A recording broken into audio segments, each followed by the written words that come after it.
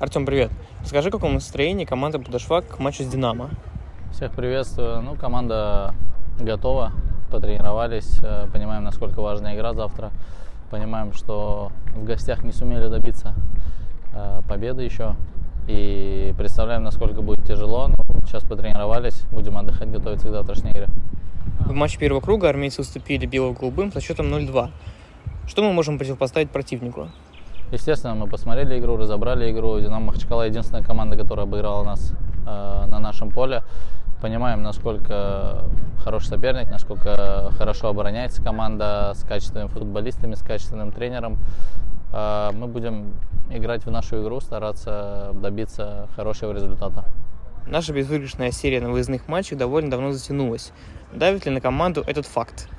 Не скажу, что давит, просто хочется выиграть, потому что если смотреть на последние гостевые игры, мы играли, я считаю, лучше соперника, но не получалось забить, пропускали обидные голы и проигрывали. Посмотрим, как будет завтра.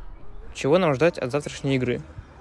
Завтра ждать стопроцентной отдачи от нашей команды, от наших футболистов, это сто процентов. А дальше уже, как сложится матч, мы знаем, что это футбол.